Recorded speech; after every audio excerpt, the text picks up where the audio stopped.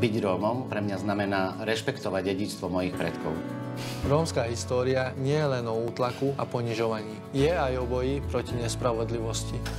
Bez rómskeho srdca by som tak nehral ani nespieval. Som hrdá na to, že som Rómka a záleží mi na budúcnosti našich detí. Pokiaľ chceme zlepšiť našu situáciu, prihlásme sa k rómskej identite. Som teda Slovenka a Rómka. Vyplniť sa dá oboje. I keď som Róm, iba pomohme. Musíme využiť každú príležitosť, kedy sa môžeme o svoje práva prihlásiť.